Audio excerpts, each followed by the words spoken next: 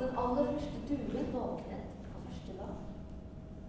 dag. Lille duen satt og kjente en liten hjertebanke.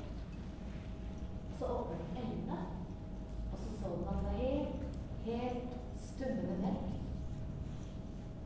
Da var det at duen kjente hun hadde vinger. Den bredte ut vingene sine, og så fløy den inn i mørket, inn i det ukjente. Thank that.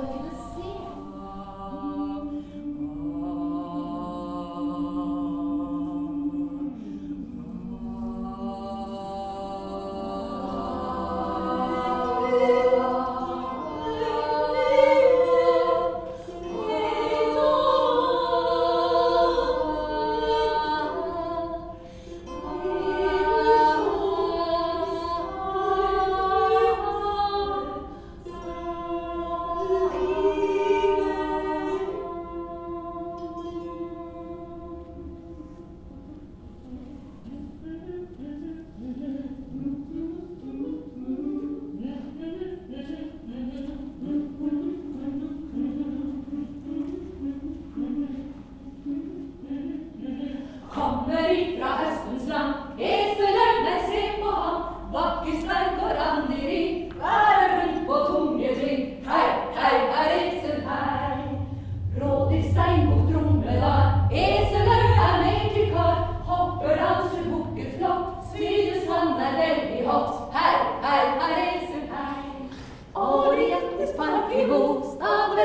Caritas Porperes fortissimus, sarcilis altissimus, es pares viranem pes.